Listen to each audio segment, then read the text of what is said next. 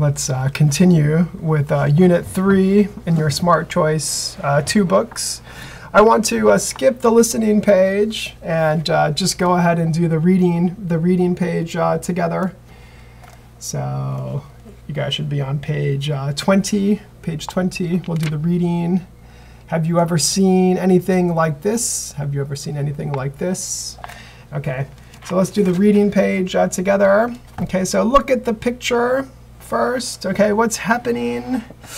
It looks like he's uh, skydiving, right? Skydiving, doing something very adventurous.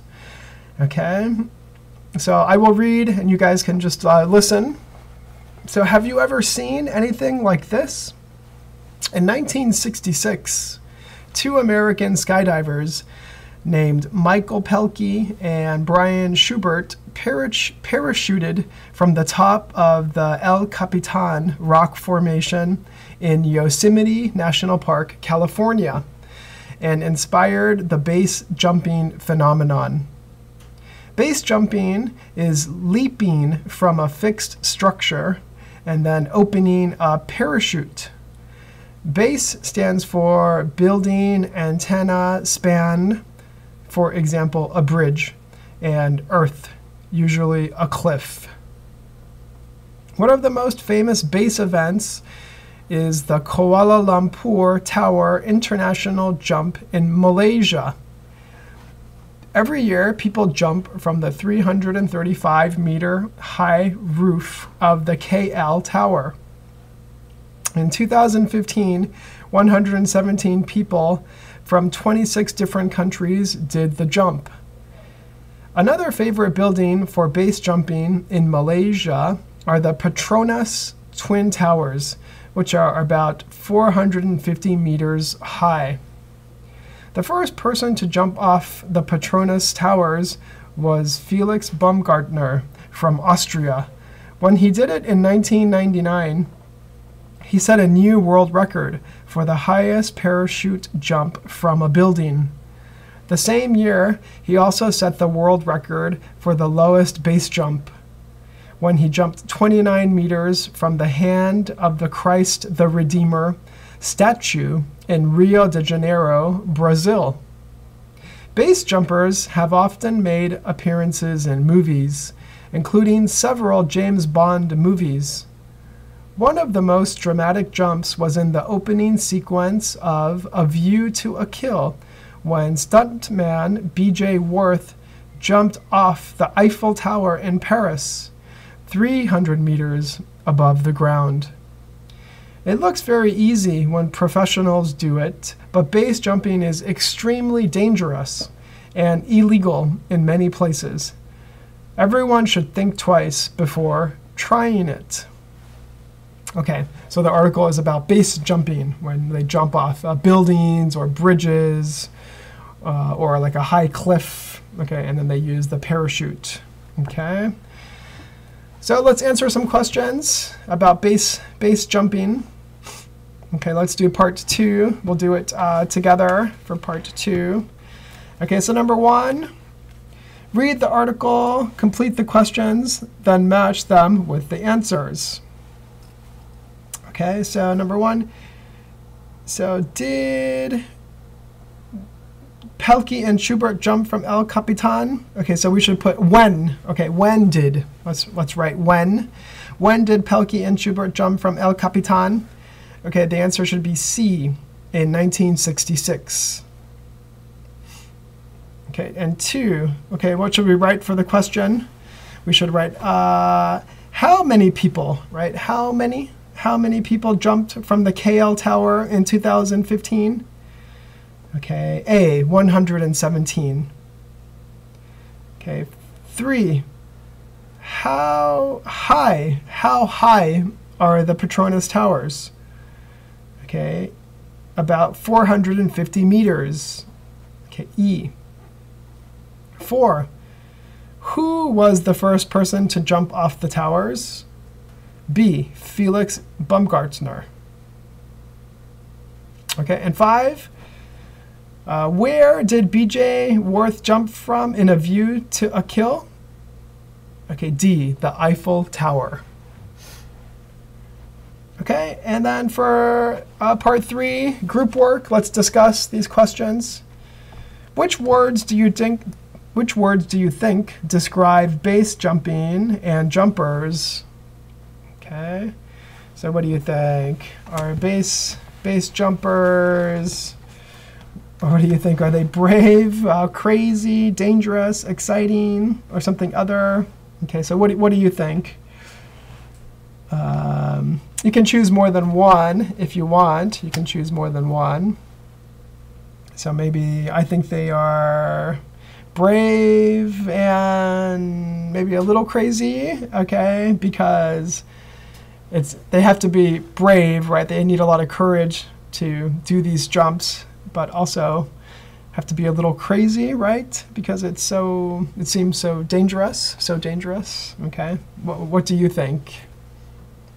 Okay? And do you want to try something like this? Okay, why or why not? Okay, so you can say, oh, I think these people are crazy. So do I. I don't want to try something like that. Okay, so what about you? What do you think about these base jumpers?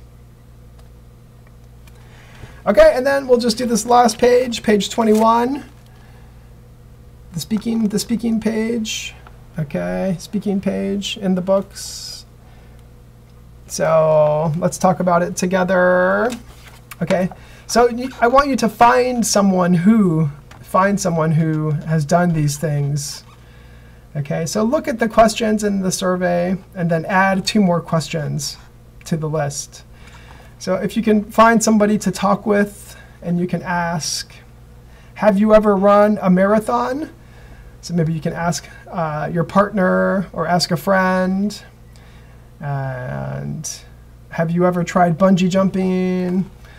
Okay, so maybe maybe you did it, or maybe your friend did it. You could write down his name or her name. Oh, you could say, oh yes, um, uh, tried bungee jumping. And what are some, what's some extra information? Maybe, oh, Sohee tried bungee jumping in Gangwon-do. Okay, have you ever taken dance lessons? Um, so you can say, oh, yes, I have. You can say, oh, okay, Rodri. Rodri's taken dance lessons. You can write down my name, Rodri. Okay, oh, he did salsa. He did some salsa dance lessons. Okay, or you can find one of your friends and ask them what kind of dance lessons they did. Okay, four, have you ever flown in a helicopter? Have you ever won an award? Oh, yes, I won an award for an English speech contest when I was in high school. Okay, or maybe one of your friends won an award for science or math. Okay. Have you ever sung in public?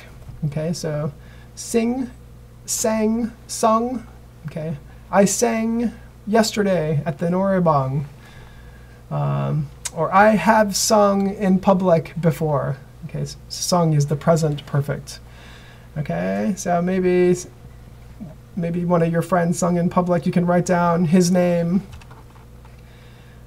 Maybe Jiwan sung in public. Okay, he sung at uh, his high school auditorium. Have you ever visited another country? Okay, so find someone who's visited another country, or maybe you did. Okay, so maybe you can write um, Alex, my friend Alex, he visited Canada before. And have you ever written a poem? Okay, have you ever written a poem? So maybe one of your friends wrote a poem. You can write down his name. You can say, oh, he wrote a poem for a poetry contest in middle school. Okay, and for number nine and 10, you guys make a question. Okay, have you ever been to Jeju Island? Or have you ever gone uh, dancing in Dunsan-dong? Okay, you can make a question, you can make it fun, and then ask your partner. Okay. All right, and then uh, you can say, oh yes, Rod Rodri has been uh, dancing in Dunsan-dong. Okay, he went to Ibiza, Ibiza nightclub to go dancing. All right, so write some extra information about the questions you made. Okay, So that's it for the student book.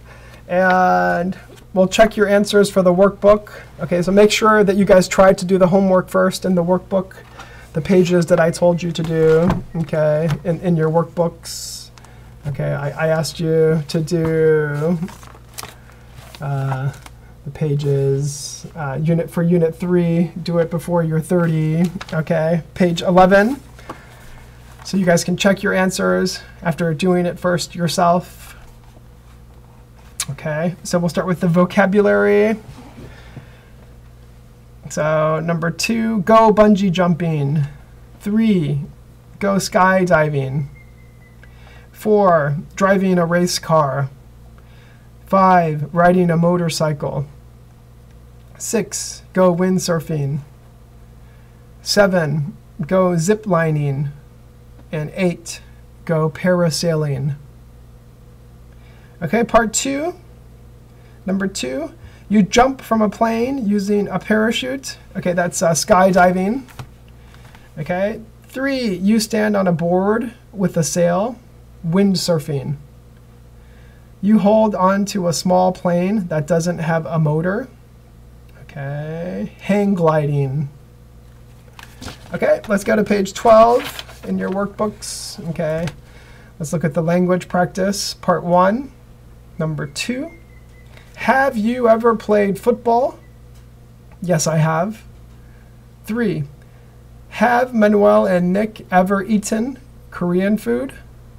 No, they haven't. Four, has your brother ever gone ziplining?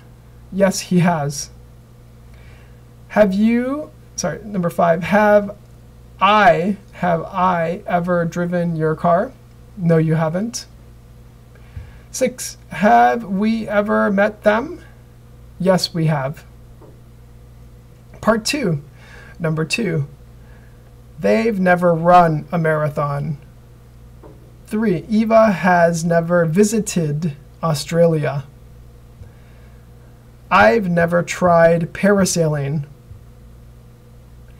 Have you ever traveled to Italy? We've never bought a car. Bought a car. Okay. Let's do uh, part three, number two. I have never eaten Indian food. Three. Frank has gone to Brazil three times. Four. I have never seen a pyramid. 5. Have you ever ridden a camel? 6. Have they ever driven a race car? Okay, part 4, we'll correct the sentences. Okay, number 2, we have never been to Canada. We have never been to Canada. Three, have you ever tried Paris? Sorry, have you ever tried skydiving? Have you ever tried skydiving? And four, have they ever met a movie star? Have they ever met a movie star? Okay, we'll do part five. Okay. Have you ever gone parasailing? Yes, I went parasailing in Jamaica three years ago. Did you like it? Yes, I did. It was a lot of fun. How about you? No, I've I've never tried parasailing, but I've gone windsurfing. That's really exciting. Wow, where did you do that? In California. Okay, we'll do part six. Okay, so have you ever climbed a mountain? Yes, I have. I climbed a mountain in South Korea two years ago. Did you like it? Yes, I did. It was a lot of fun. How about you? No, I haven't, but I've gone hang gliding. That's really exciting. Cool. Where did you do that? Okay, in Venezuela. Okay, and then for part seven, you guys make a similar conversation to part six. Use your own ideas. Okay, so you could say, oh, have you ever taken a cruise ship? Or have you ever gone bungee jumping? Okay, it's up to you. You guys can make it. Okay, your choice. Okay, so I, I said, have you ever gone bungee jumping? Okay, yes, I have. Okay, I went bungee jumping in uh, Gangwon-do uh, two years ago. Okay, about two years ago. Okay, so did you like it? Okay, uh, yes, I did. It was a lot of fun. Okay, cool. Where did you do that? Okay, uh, in uh, South Korea. Okay, so just make make a similar conversation. All right. So please remember to keep doing the homework in the workbook. Okay, make sure you're doing it because I'm gonna check your your workbooks later. Okay, so look for the next uh, video uh, next week um, for uh, Unit 4. Thank you.